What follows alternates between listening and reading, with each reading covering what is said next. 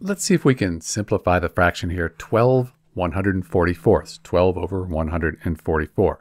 And what we want to do is get this down to lowest terms, its simplest form. So we need to find a common factor, something that goes into 12 and 144.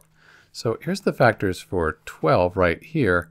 And then 144, there are a lot of factors. So let's see what they have in common. 12, is that here? Yeah, right here, 12. Actually, that's the greatest common factor. And 12 times 12, that's 144. If you knew this, this gets a little bit easier. So why don't we do this? If we divide 12 by 12, we get 1.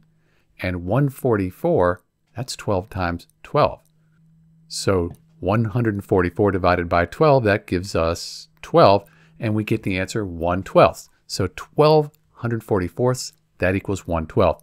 You could also do it this way. You could divide each of these by 2 since they're even, and you'd get even numbers again, divide that by 2, and eventually you would end up with 1 12th. So that might be an easier way to do that if you didn't want to write out all of these factors here. Either way, the fraction 12 144ths, that simplifies down to 1 12th. That's in lowest terms. We can't reduce that any further. This is Dr. B, and thanks for watching.